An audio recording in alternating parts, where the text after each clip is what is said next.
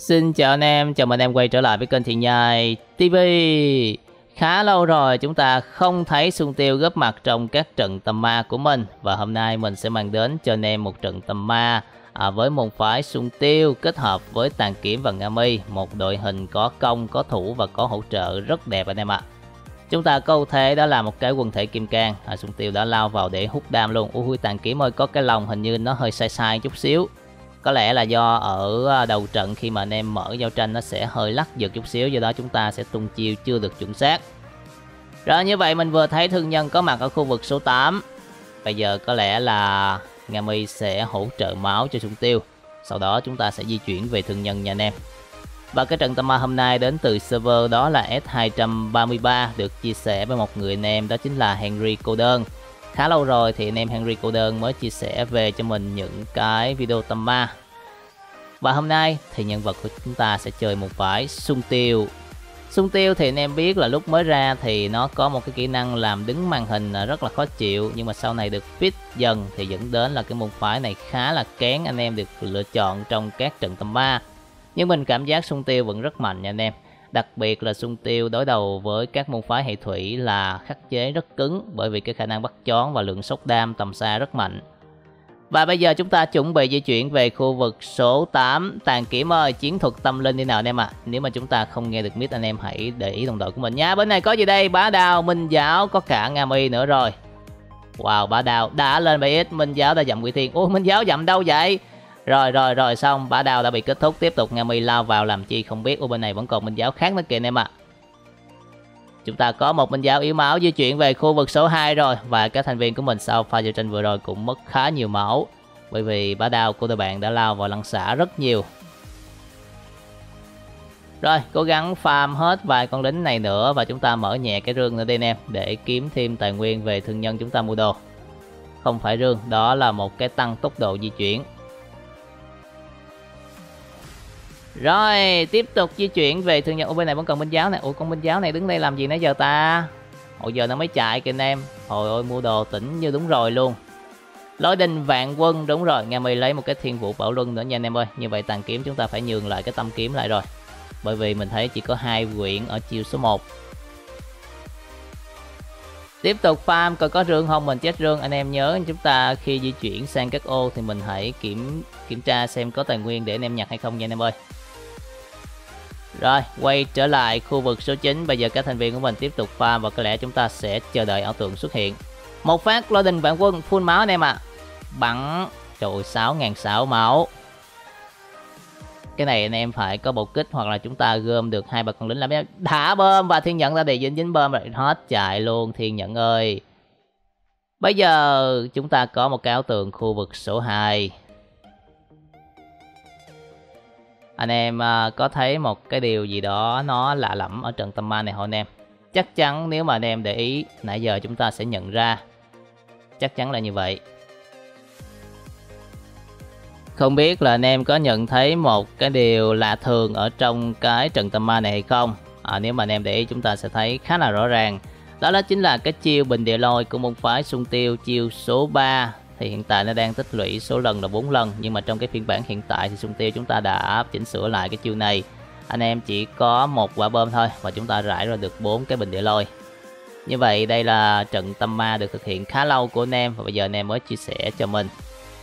Rồi, có một team có Nga Mi ở khu vực số 10 Bây giờ anh em có di chuyển lên hay không? Chúng ta quay trở lại khu vực số 9 Và tiếp tục di chuyển về thương nhân anh em ạ. À. Tàn kiếm hiện tại đang theo team khá chậm rồi tàn kiếm ơi, cố gắng bám theo team anh em ơi. Bám theo team để chúng ta hỗ trợ tăng cơ, Bởi vì mình đang chơi môn phái tăng cho anh em. Tăng thì chúng ta sẽ chuyển ô và chúng ta sẽ di chuyển trước, Nhưng mà có lẽ Sung Tiêu trận này sẽ là người gánh team. Do đó anh em sẽ luôn đi đầu trong các à, cuộc giao tranh, Cũng như là chúng ta dẫn đường cho các thành viên của mình. Tiếp tục di chuyển về khu vực số 22 nào. Tàn kiếm ơi, vẫn là tàn kiếm đang rất chậm anh em ạ. À. Tiếp tục di chuyển rồi, qua nào. Không có ai cả. Như vậy chúng ta sẽ mở nhẹ vài cái rương Và sau đó có thể là sẽ di chuyển về khu vực số 21 hoặc là 23 Quyết định di chuyển về khu vực số 23 rồi anh em ơi. Trên này đang rất là trống. Có một cái viên máu cho anh em. Như vậy là các thành viên của mình sau đó là di chuyển về khu vực số 22 bên này có tim đó là một thứ yên bắn luôn anh em ạ. à. Trời ông tăng kiếm ông lao vô ông tăng xong ông nhảy kinh công ra luôn mới ghê chứ. Tăng kiếm anh em chơi phải với phong cách khô máu nha anh em. Còn 7x là còn tăng, còn 7x là còn đánh. Khi nào mất 7x tính sao anh em ạ? À. Tại vì cái 7x của anh em mà đang áp sát đối phương bung ra thì sẽ cực kỳ hiệu quả. Rồi, kỹ năng cũng đã hồi anh em thấy xúc tiêu hồi kỹ năng khá lẹ và chúng ta lại tiếp tục di chuyển về khu vực số 21 bên này lại có một viên máu nữa. Trận này có lẽ tăng kiếm chơi môn phái đam sẽ hợp lý hơn anh em ơi. Chơi tăng cơ anh em đi sau thế này là hơi vất vả cho team. Chỉ còn khoảng vài giây nữa thôi và Nga Mi với Sung Tiêu lại tiếp tục di chuyển về khu vực số 19. Rõ ràng anh em thấy là Nga Mi với Sung Tiêu đang rất muốn quét map một cách nhanh chóng có tim rồi, chúng ta đã bị lóc lên, có lông tước dương môn em ơi, sung tiêu đã rải được những quả bơm nga mi đã đặt được vòng rồi nhưng mà chúng ta buộc lòng phải chạy thôi và như vậy là thời gian của vòng số 1 đã kết thúc thời gian đã cứu được chúng ta anh em ạ. Một tình huống cực kỳ nguy hiểm. Và mình hy vọng là ở vòng số 2 này thì tàn kiếm sẽ à, bám sát tim tốt hơn để chúng ta hỗ trợ tim tốt hơn nha anh em ơi. Bởi vì nếu mà chỉ có sung tiêu với nga mi thì đội hình của mình sẽ khá là mỏng. Bây giờ anh em sẽ lên 2 hay là qua 8 và chúng ta quyết định di chuyển về khu vực số 2. Rồi, rất trọng anh em ơi. Tranh thủ Á lấy quyển tăng cấp bí kíp được. Đúng rồi, đúng rồi. Đó, mình phải kiểm soát tài nguyên trên người nha. Lôi đình vàng quân đã được lên. Bây giờ có lẽ là chúng ta check đồ ăn cái này mà. Sau đó mình sẽ di chuyển lên các cánh phía trên này để quét sạch ở trên.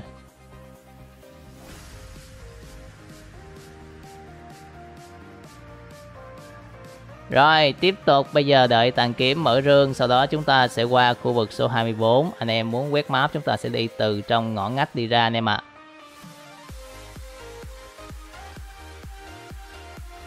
Và như vậy là Nga Mi đã bị khống chế và hết chạy. Có lẽ đây là phiên bản sung tiêu thời. Kỹ năng chiêu cuối vẫn còn gây lắc và ám ảnh cho anh em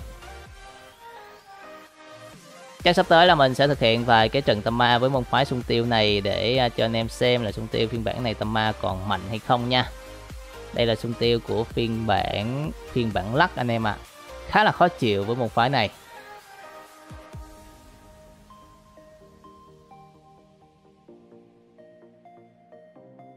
Rồi, lấy một quyển bí kíp. Ôi, có lẽ là có người về đây để mua rồi anh em ạ. Bây giờ chúng ta lấy một quyển tăng cấp ngựa rồi, lên khu vực số 10 luôn, em ơi. 10 qua 11 sau đó chúng ta xuống 3 là đẹp. Rồi, anh em đi vòng các map. Vẫn là tàn kiếm đang trả giá. Rồi, con lôm đã bị khống chế. Ngà mây đặt vòng, tàn kiếm tàn kiếm đang bị chón. Tàn kiếm đặt được phong tháp vân cảnh rồi Cung lôm đã lướt thành công về khu vực số 10 Phải nói là cung lôm rất trâu.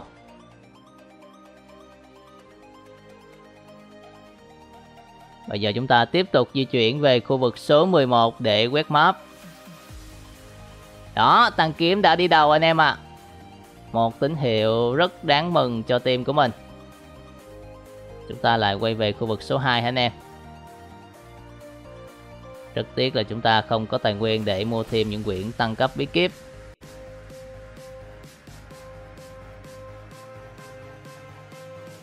Khu vực số 8 có tiêu dao bên này rồi, tiêu dao lướt vào, cẩn thận tiêu dao lóc, lóc được chúng ta nhưng Nga Mi đã đặt vòng rất hay và tiêu dao thất thám là một sai lầm rồi anh em ạ. À.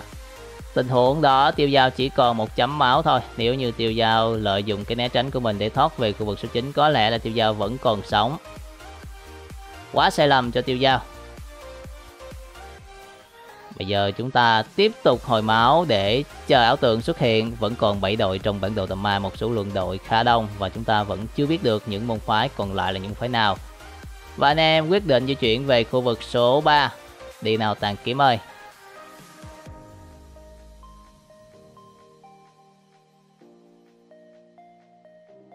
Wow, không về ba anh em à, mà là chúng ta xuống khu vực số 1 Wow, bên này có một môn phái gì đó, có quần thể kim cang ui da ui da, nó là phái gì nè? Nó là vàng hoa. Tàn kiếm chúng ta đã bị rượt về tới khu vực số 4 vàng hoa nga mi. Bây giờ bắt ai đây? Nga mi đã lên 7x vàng hoa vẫn đuổi theo chúng ta. Có cả côn lôn nữa rồi. Kèo này rất khó cho sung tiêu. Rất may là sung tiêu chúng ta đã lên được 7x anh em ạ. À. bên này lại có đường môn. Rất may cho anh em. Đó là đường môn đã không có củ cung. Ôi, những tình huống thoát chết rất thần kỳ, anh em ạ. à. Và hiện tại anh em thấy là có team đang cố gắng ăn con boss thủ lĩnh. Kèo này hơi khó nha Bắt đầu cảm thấy trận tầm ma khó khăn hơn rất nhiều rồi anh em ơi. Và bây giờ có lẽ là chúng ta cần phải Wow, một thần cơ, một thiên vương đỏ rực luôn Và tiếp tục bắn phá, bắn các kiểu. Con đại điểu tàn kiếm chúng ta đang bị mất máu rất nhiều. Thần cơ một vệt máu anh em à Và thần cơ đã bị kết thúc. Tiếp tục đó chính là thiên vương. Thiên vương một phát bắn nữa và thiên vương lên bảng điểm số luôn. Quá đẹp. Tình huống vừa rồi. Phải nói là cực kỳ nguy hiểm bởi vì cả thần cơ và thiên vương đều có bạo kích. Phải nói là chỉ cần môn phái đó khống chế được chúng ta thì có lẽ chúng ta sẽ bị sắp mặt nha anh em ơi. Và bây giờ mục tiêu tiếp theo đó là anh em cần phải di chuyển về khu vực số 1 bởi vì có tìm đang ăn boss.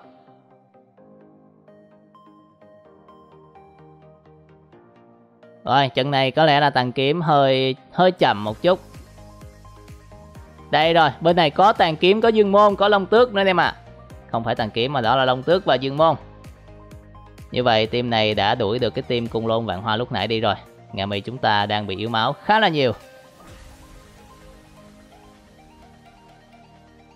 Rồi, thời gian này anh em vẫn đủ thời gian để chúng ta ăn boss nha. Nhưng mà không biết là các team khác họ có để cho anh em ăn boss hay không.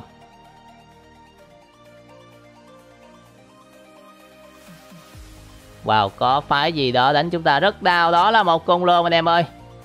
Tàn kiểm chúng ta vẫn đang có mặt ở khu vực số 1 rồi Nga Mi vẫn khu vực số 1 Tàn kiểm đang rút về khu vực số 2 Như vậy là team cả team chúng ta cũng đã về khu vực số 2 Wow Kèo này khá là khó cho anh em. Như vậy là đã có team chống phá chúng ta không thể nào cho chúng ta ăn được con boss Và chúng ta tiếp tục di chuyển về khu vực số 1 như vậy là team này sau khi phá xong họ đã di chuyển sang những khu vực khác bởi vì thời gian của vòng số 2 không đủ để kết thúc con boss. Đó chính là Nga Mi Vạn Hoa. Rất đau. Chúng ta đã nhảy thành công và như vậy thời gian của vòng số 2 cũng đã kết thúc. Trận này à, theo suy đoán của mình thì có lẽ là Tàng Kiếm hiện tại không nghe được miss chỉ huy anh em ơi. Nhưng mà Tàng Kiếm cũng uh, chưa bám theo được tim dẫn đến là Xuân Tiêu không thể nào chủ động được trong các pha di chuyển cũng như giao tranh. Ở trận này Xuân Tiêu anh em gánh hơi mệt nha.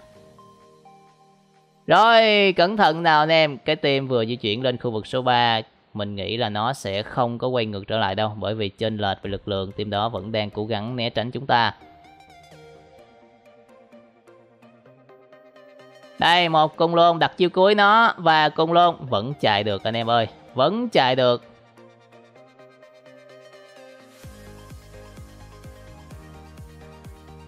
Cung Lôn đã mất 50% máu với hướng di chuyển đó thì có lẽ Cung Lôn sẽ gặp team Nga Mi và Vạn Hoa. Ồ, tàn kiếm rất máu lửa anh em. Bây giờ tự nhiên tàn kiếm lại máu lửa cực kỳ di chuyển liên tục từ những khu vực.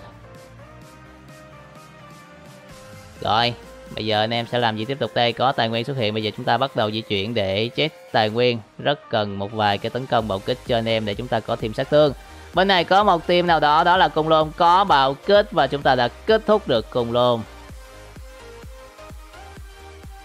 Như vậy là mình sẽ còn 4 đội và theo suy đoán của mình trong đó chúng ta sẽ có một team đó chính là Vàng Hoa Nga Mi. Một team Dương Môn và đại dương môn, long tước và một cái team nga mi lẻ nên em ơi. Như vậy trong đó có lẽ nguy hiểm cho chúng ta đó chính là cái team dương môn, long tước và cái team vạn hoa nga mi. Nếu như nga mi tăng tốt thì vạn hoa có thể dồn sát thương khá là nhiều về đội hình của mình, đặc biệt nếu như vạn hoa có thêm những tấn công một kích. Có team ở dưới này rồi, đó chính là nga mi. Vạn hoa cố gắng đặt bơm anh em à như vậy là vạn hoa đang lao vào để hỗ trợ. Vạn hoa đã bị kết thúc rồi, Nga Mi quay trở lại làm gì đây? Nga Mi đã nhảy kinh công thành công. Rất may mắn cho Nga Mi là xung Tiêu chúng ta đã hết kỹ năng. Tiếp tục di chuyển, tiếp tục di chuyển đuổi theo Nga Mi một vệt máu. Nga Mi bật búp ba chúng ta có chiêu cuối. Xa tầm với rồi anh em ơi, hiện tại thì tàn kiếm chúng ta đang bị yếu máu tại khu vực số 6 rồi. Đó chính là Long Tước có quân thể Kim Cang. Rồi, Nga Mi đặt vòng rất hay và có lẽ chúng ta sẽ kết thúc được Long Tước với phát nổ của chiêu cuối. Ôi vẫn không kết thúc được anh em ạ. À. Quá ảo. Rồi tàn kiếm của chúng ta khu vực số 8 Và như vậy là tàn kiếm đã lên bảng điểm số rồi anh em ơi. Ờ, à, Tàn kiếm đánh quá bạo.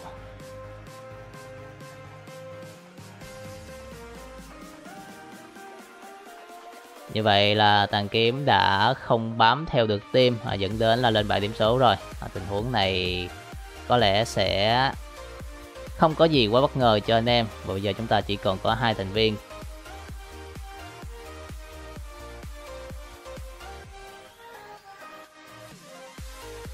Ảo tượng lại một lần nữa xuất hiện và chúng ta có một cái bộ kích ở khu vực số 1 đây. Rất thơm cho anh em nha.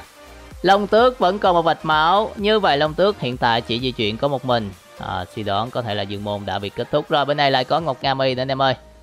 Và như vậy anh em thấy hiện tại ưu thế của mình rất nhiều Chỉ cần kết thúc được Long tước là team chúng ta sẽ giành được chiến thắng cho trận tầm ma này Bởi vì à, Nga Mi sẽ không thể nào lật kèo được với Xuân Tiêu Rồi, Long Tước vẫn rất nguy hiểm nha anh em. Nếu như Long Tước có tấn công bạo kích và đặc biệt có thêm cái quần thể kim cang nữa có thể kết thúc được xung tiêu chúng ta nếu như mà Long Tước khống chế được xung tiêu.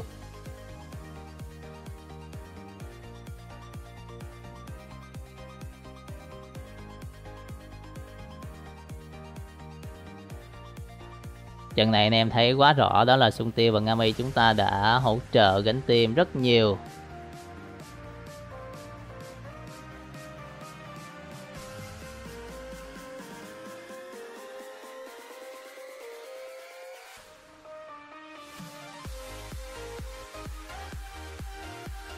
Rồi, bây giờ anh em sẽ làm gì tiếp theo đây? Vẫn tiếp tục mở rương. Không hề vội vàng anh em ạ. À. Tiếp tục mở rương để nâng lực chiến Như vậy cao tượng khu vực số 7 đã có tìm mở.